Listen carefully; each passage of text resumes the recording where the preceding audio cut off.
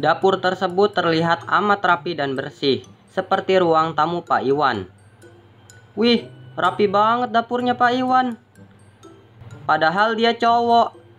Tapi bisa juga ya hidup sendiri dan jaga kerapihan kayak gini. Coba aja kamar gua bisa serapi ini. Auto pingsan pasti si bunda. Kalian udah ada yang pernah makan ayam taliwang belum? Eh, belum pak. Bapak mau masak itu? Iya, itu salah satu makanan favorit saya. Dia ini makanan dari Lombok dan agak pedas. Emang bapak bisa masaknya? Kalau nggak bisa nggak usah dipaksa pak. Ntar malah fail terus kita jadi tumbalnya lagi. Hahaha. Hah? Wah, belum tahu aja kamu. Ntar kalau udah makan masakan saya, malah ketagihan loh. Saya ini kan manajer kafe bertahun-tahun, Dit. Dan karena itu, saya sering diajarin masak sama chef-chef yang kerja di tempat saya. Hah? Ah iya, Pak Iwan kan manajer kafe sebelah ya. Wih, keren banget, Pak. Boleh tuh, ajarin saya masak juga. Saya juga suka masak loh, Pak. He. Eh iya, kalau gitu lo kerja part time aja lah di kafenya Pak Iwan. Lumayan kan, lo bisa ketemu chef-chef hebat di sana, terus belajar dari mereka. Boleh nih Pak, rekrut si Lala. Nggak usah digaji juga nggak apa-apa Pak. Heh, sembarangan ya lo. Hahaha. Hahaha. Iya iya, saya ajari kalian kok. Sebentar ya, saya siapkan dulu bahan-bahannya. Sementara Pak Iwan mengambilkan bahan-bahan buat masak, lo berbisik pada Lala. La, kayaknya Pak Iwan udah on fire lagi tuh. Iya, Dit. Syukurlah. Gue senang lihat dia kayak gini. Sama lah, gue juga. Ada bagusnya juga ya kita main ke sini. Iya, Dit. Udah gitu dapat makan siang gratis pula. Hayo, bisik-bisik apa kalian? Mau masak apa? Mau ngegosip nih? Hah? Eh? Bukan apa-apa kok, Pak. Kita cuman bilang Bapak ganteng. eh? Waduh, jadi enak saya. Ya udah, ayo mulai masak aja kita. Nanti keburu cacing-cacing di perut kalian protes. Haha. Iya pak. Saya bantu apa nih? Hmm, kalau kamu saya kasih tugas yang gampang aja Dedit Kamu potong-potong bawang aja ya. Cia Nggak ada yang lebih susah apa pak? Motong bawang doang mas saya sambil nutup mata juga kelar. Jangan sesumbar kamu Dit. Awas ya nanti kalau potongannya acak adul. Hah, nggak bakal itu pak. Tenang aja Sesusah apa dah ngiris bawang putih doang? Kalau saya tugasnya ngapain pak? Nah lah, kalau kamu bantuin saya ngulek bumbu yang lain. Ada tenaga kan kamu? Hah, ya ada dong pak. Pak Iwan pun mulai mendelegasikan tugas untuk kalian berdua. Lo diberikan beberapa siung bawang untuk dipotong beserta pisau dan talenannya. Setelah itu Pak Iwan ninggalin lo untuk ngurusin Lala serta motong-motong ayam. Ini dia saatnya gue beraksi. Sesusah apa dah? Ngiris bawang putih doang. Gue bakal bikin Pak Iwan dan Lala terkagum-kagum sama keahlian gue. Ululululu. Gaya-gaya banget lu, Dit. Cop cop cop cop cop cop. Cup cup. Dengan penuh semangat lo mencincang-cincang bawang di hadapan lo. Nggak sampai 2 menit, semua bawang sudah terpotong semua. Pak, udah nih. Next, saya ngapain lagi, Pak? Eh? Hah? Cepet amat, Dit. Yakin udah beres tuh? Bukannya mendapat tatapan kekaguman, lo malah mendapati Lala dan Pak Iwan menatap lo dengan skeptis. Bapak nggak percaya? Lihat aja sendiri, Pak. Alah, nggak mungkin banget tuh pak. Chef Arnold aja nggak bisa ngiris bawang secepat itu. Coba liatin pak, pasti dia motongnya nggak bener. Hmm. Dengan penuh ketidakpercayaan, Pak Iwan menghampiri lo. Beliau hanya melirik potongan bawang lo sekilas sebelum tiba-tiba dia terbahak-bahak. Hahaha. Aduh, Adit, Adit, kamu lagi ngelawak ya? Eh, ngelawak gimana, Pak? Ini saya beneran udah kelar. Lala yang penasaran pun turut mendekati lo. Dan begitu melihat potongan bawang lo, Lala ikut terbahak-bahak. Woi, Dit. Mana ada sih potongan bawang gede-gede kayak gitu? Lo mau bikin orang yang makan keselak apa gimana? Haha, tahu nih si Adit. Ketahuan nih kagak pernah bantuin ibunya masak di rumah. Eh, emangnya harus gimana dah, Pak? Sudah sini-sini. Saya aja yang kerjain. Udah saya bilangin jangan sesumbar. Hahaha. Tanpa babak, Pak Iwan sudah mengambil pisau di tangan lo dan mengiris bawang-bawang itu dengan pro. Tak tak tak tak tak. Hah? Hah? Hanya dalam beberapa menit saja, semua bawang tersebut sudah teriris dengan rapi dan halus. Lo dan Lala pun hanya bisa mengangah melihat Pak Iwan yang ini benar-benar belum pernah lo ketahuin sebelumnya. Sisi Pak Iwan intinya gitu. Nah, kayak gitu, Dit. Makanya sering-sering latihan ya kamu di rumah. Biar nanti bisa jadi bapak rumah tangga yang baik, bantu-bantu istrinya. Hah? Eh, iya deh, Pak. Hehe. Sekarang kamu tolong cuciin pisau dan telenannya ya. Abis itu kamu liatin saya sama Lala masak. Ya, nggak suruh amat, Pak. Masa saya cuma jadi tukang cuci-cuci? Ya nggak apa-apa, Todit. Kan itu yang memang bidang keahlian kamu. Masa kamu lupa waktu kamu nego di restoran saya buat nyuci piring sebagai ganti bayar makanan? eh, Seketika lo teringat dengan hari Valentine lo yang kacau bersama Lala. Di mana lo mengajaknya untuk makan di kafe milik Pak Iwan. Lalu lo lupa bawa dompet. Sebenarnya sih nggak lupa bawa dompet guys. Uangnya kurang. Alhasil lo mencuci piring sebagai ganti bayar makanan. Yang mahalnya naujubile itu. Sial. Pak Iwan masih inget aja dah.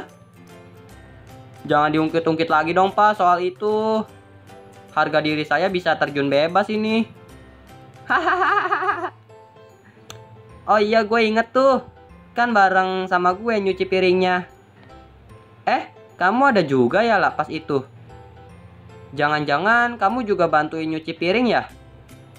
Ha, iya pak. Abisnya saya kasihan sama Adit. Udah bela-belain mau nyenengin saya, tapi ternyata harus dapat hukuman. Huh, dasar. Kalian berdua ini kompak sekali ya. Ke mana-mana nempel terus. Nyuci piring aja harus berdua. Hah? Merah. Mendengar godaan Pak Iwan tersebut, baik lo dan Lala pun langsung tersipu malu.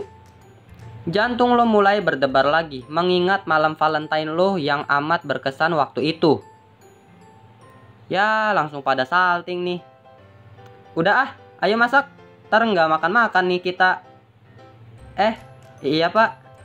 Akhirnya lo pun mencuci piring sementara Pak Iwan dan Lala sibuk berkutat dengan masakan. Sambil nyuci piring lo kembali mengingat-ingat kejadian-kejadian yang lo alami di kafe Pak Iwan. Dipikir-pikir, banyak juga ya kejadian spesial yang gue alamin di kafenya Pak Iwan. Mulai dari nyuci piring segunung bareng Lala di hari Valentine sampai gue jadian sama Rini. Wih. Semua itu terjadi di kafenya Pak Iwan. Uh, penuh kenangan men kau kafenya Pak Iwan men. Selagi lo flashback, tiba-tiba ucapan Pak Iwan membuyarkan lamunan lo. Lah, biasain ya kalau mau goreng apa-apa, pastiin minyaknya udah panas dulu. Baru deh kamu ceburin ayamnya ke dalam. Oh gitu pak Biasanya sih saya langsung ceburin aja. Yang penting minyaknya udah ada. Hmm. Gue berasa ngeliat Pak Iwan yang beda dah. Biasanya mah di sekolah dia ngomel-ngomel doang kerjaannya. Tapi nggak nyangka dia bisa selembut ini. Andai aja Bu Sri bisa ngeliat Pak Iwan kayak gini.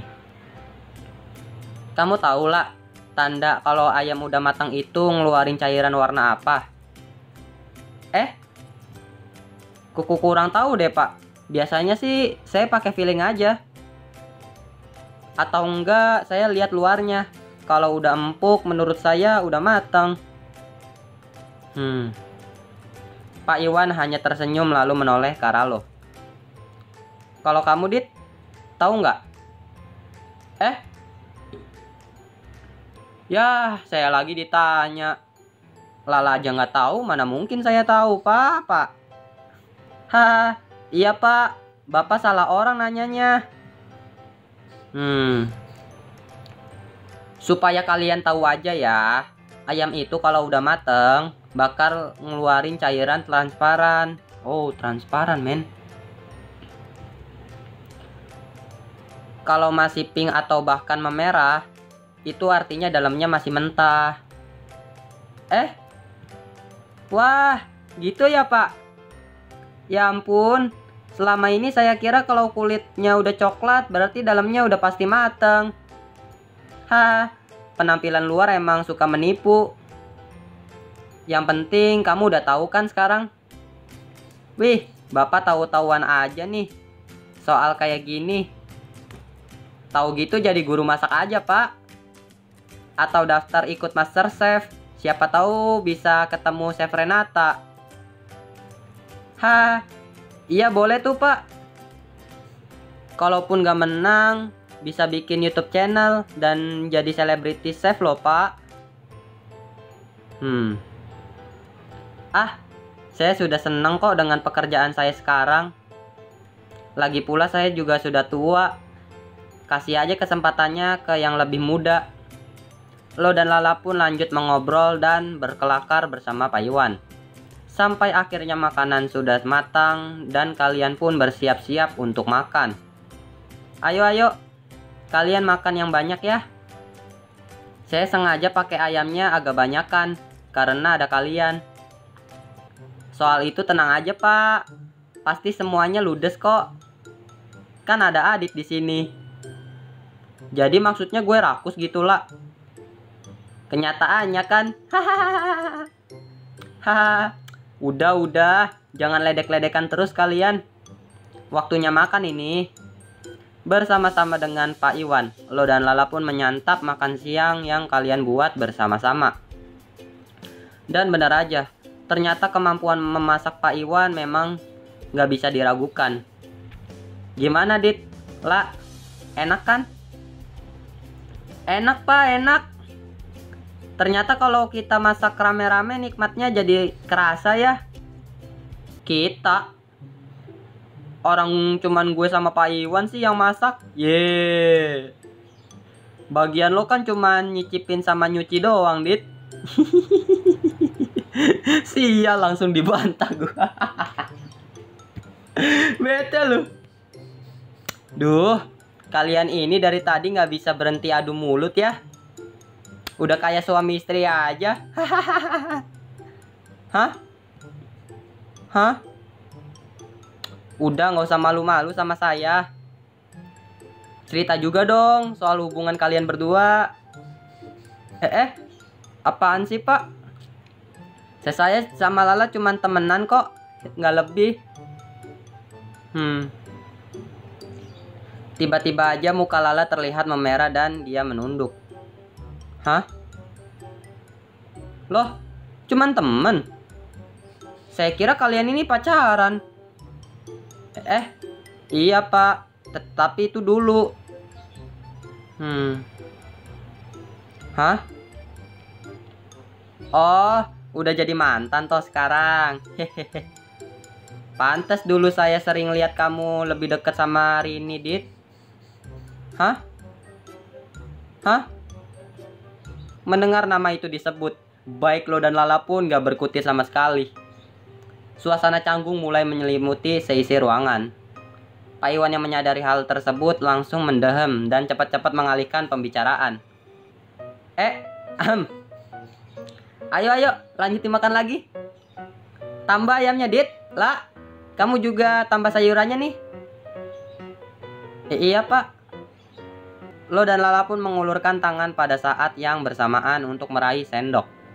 Dan tanpa sengaja tangan kalian saling bersentuhan. Hah? Hah? Eh dah, kenapa ada aja sih dari tadi? Lo dan Lala pun kembali saling terdiam, salting karena kejadian barusan. Hmm. Tapi kalau saya lihat saat ini kalian berdua cocok loh. Kalian kelihatan kompak satu sama lain. Eh eh. Hah? Ayo Dit, tunggu apa lagi? Jangan lama-lama, Nanti nyesel loh kayak saya. Sekarang fokus masa depan dulu lah pak. Apalagi habis ini kita kan mau kuliah. Hmm. Hmm. Ya terserah kamu. Saya sih ngasih saran aja. Makan siang hari itu pun berlanjut. Meski masih diwarnai sedikit kecanggungan. Sampai akhirnya semua makanan habis dan kalian membantu Pak Iwan membereskan meja makan. Dan saat semuanya sudah beres, kalian pun mau siap-siap pulang. Oh iya, sebelum kalian pulang, masih ada satu hal yang perlu saya bicarakan sama kamu. Pak Iwan menatap ke arah lo dengan tatapan yang sudah kembali serius seperti biasa. Eh, saya pak? Iya kamu Adit, siapa lagi? meski urusan yang kemarin itu sudah beres, kamu kan masih punya satu hutang sama saya. Soal kelulusanmu. Hah? Duh, mati si Pak Iwan udah ngungkit-ngungkit soal itu lagi. Padahal gue kira doi udah ikhlasin soal itu. Eh, eh, eh, gimana tuh pak? Ya saya sih bukan lagi mempermasalahkan soal kamu menyontek itu ya. Biarlah itu urusanmu dengan yang di atas. Tapi saya nggak bisa lulusin kamu. Kalau kamu memang sebenarnya nggak bisa mendapatkan nilai yang cukup. Maksudnya gimana pak? Saya mau tes kemampuan kamu, Dit. Ayo loh. Saya mau tahu, apakah kamu sebenarnya sanggup tapi kepepet waktu? dan jadi ngandelin contekan atau kamu memang gak mampu ngerjain soalnya karena kalau alasan kamu menyontek adalah karena gak sanggup itu artinya kamu gak layak untuk lulus hmm pak jujur sebenarnya waktu itu saya nyontek karena panik waktunya tinggal sedikit waktu bapak bilang waktunya tinggal 15 menit lagi saya masih belum kelar ngerjainnya pak Sementara kepala saya juga sudah pusing banget, gak kuat. Jadilah saya mikir buat ngeliat kunci jawaban aja biar cepet. Hmm. Lala yang berdiri di samping lo pun hanya ter terdiam. Teringat bahwa kunci jawaban yang mencelakakan lo itu diperoleh dari dia juga. Hmm. Tapi tetap aja, saya nggak bisa percaya dengan pembelaanmu doang. Saya harus lihat buktinya dengan jelas, baru bisa percaya. Tapi gimana caranya pak? Masa saya ngerjain ulang? Saya kan juga nggak inget waktu itu soalnya kayak gimana. Kamu nggak usah pikirin soal itu. Yang penting kamu tunggu dan duduk di sini dulu. Saya mau ambil sesuatu di dalam. Kamu jangan ke mana-mana. Lah, tolong awasin Adit ya. Eh, Iya pak. Pak Iwan pun meninggalkan kalian berdua di ruang makannya. Lo dan Lala pun langsung saling tatap-tatapan dengan gelisah. Duh, lah, apaan lagi nih? Gue bakal diapain ya sama dia? Gue juga nggak tahu, Dit. Udah, yang penting lo ikutin aja kemauan dia ya, Dit. Heran deh, kenapa hidup gue nggak pernah setenang ini sih? Ah, Jangan bilang dia punya fotokopian soal UN-nya lah. Terus sekarang gue mau disuruh ngerjain di depan dia. Eh? Wah, emang lu masih ingat rumus-rumusnya, Dit? Nah, itu dia. Abis UN aja gue kagak pernah kepikiran buat buka buku lagi. Nih, kamu kerjakan ya. Hah? Hah? Obrolan lo dengan Lala pun langsung terhenti. Karena tiba-tiba Pak Iwan kembali muncul. Dia meletakkan beberapa lembar kertas di hadapan lo dan sebuah pensil. Begitu membaca judul yang tertera besar-besar di kertas itu, mata lo langsung terbelalak. Hah? Eh buset bener aja dong ini paket soal UN gue waktu itu. Kok Pak Iwan bisa megang sih? Bukannya soal-soal adanya di komputer ya? Ayo, kenapa malah dibengongin doang? Kerjain, Dit. Kasihan tuh si Lala udah mau pulang. eh, iya pak. Eh, beneran UN 2,0 ini mah. Eh, sesi 2 kayaknya sih. Kayak film aja ada sequelnya. Sequel, buset, sequel. Itu saya cuman kasih 5 soal terakhir yang belum sempat kamu kerjakan waktu itu. Jadi harusnya nggak lama ya kamu kerjainnya. Apalagi kan katanya kamu bisa. Eh, 5 soal. Lo kembali memperhatikan kertas di depan lo itu dengan seksama. Ternyata benar, di situ cuma tertera 5 soal terakhir yang waktu itu nggak sempat lo isi jawabannya. Lo membaca sekilas soal-soal itu di dalam hati. Hmm, biasanya sih nomor-nomor terakhir udah gampang. Wah, iya, ini mah gue masih bisa ngerjain. Kenapa pas waktu itu gue pusing banget ya kayaknya? Mungkin karena udah mumet kali ya sama soal-soal sebelumnya. Setengah jam kira-kira kelar nggak, Dit? Kelar, Pak. Lo menjawab dengan mantap. Wis. Oke, kalau gitu cepat kerjakan. Siap, Pak. View. Untung deh, ternyata nggak seburuk yang gue kira. Ayo, Dit, semangat! Semangat!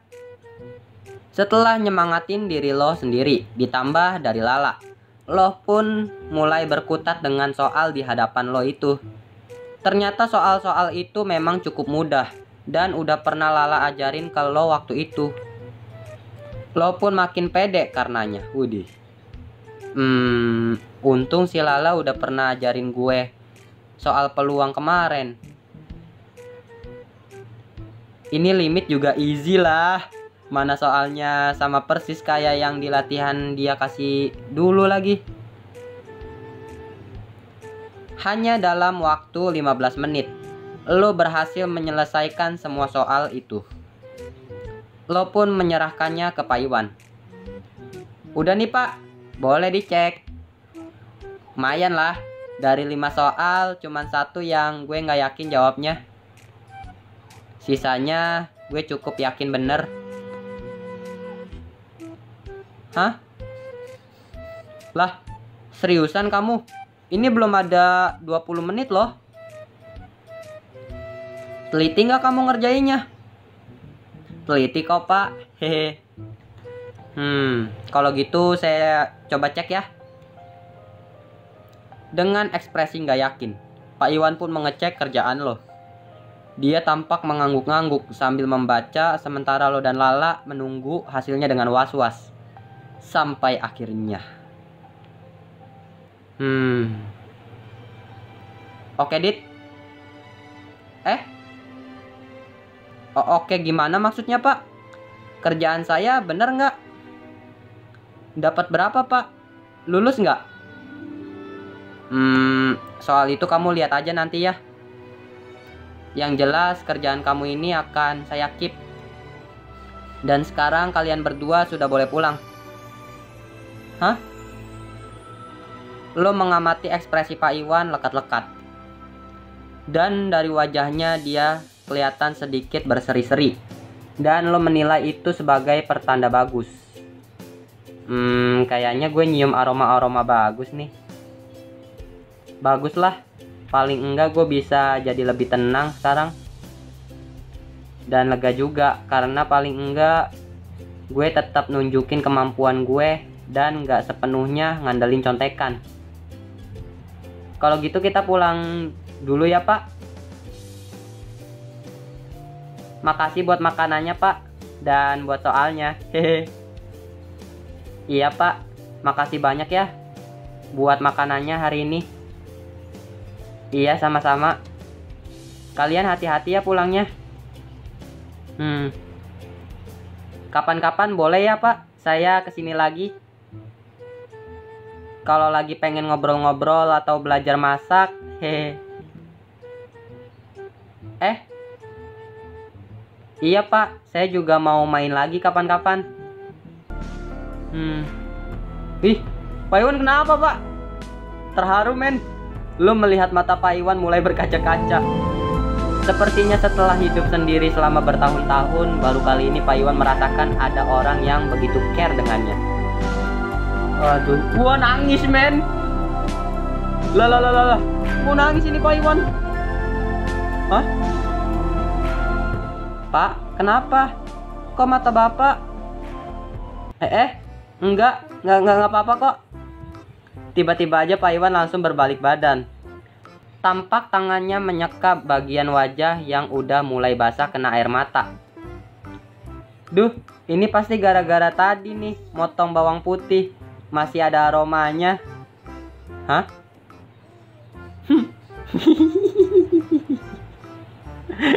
Diketawain iya pak iya setelah selesai menghapus air matanya Pak Iwan kembali menghadap kalian. Uh, ya udah kalian pulang di sana. Nanti dicariin orang rumah. Ha oke deh pak. Kami pulang dulu ya. Dah. Baru saja lo dan Lala berbalik badan. Tiba-tiba Pak Iwan menahan kalian. Eh, tunggu sebentar. Hah? Hah? Ada apa lagi, Pak? Um, sekali lagi makasih ya.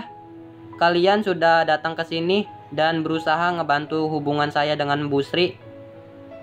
Kalian memang anak yang baik. Terutama kamu, Dit. Sepertinya saya sudah salah menilai kamu selama ini. Hah? Hmm. Hmm, iya pak, sama-sama. Hmm. Pak Iwan tersenyum sebelum berbalik badan dan kembali masuk ke dalam rumahnya. Lo dan Lala pun berjalan ke motor lo. Oke.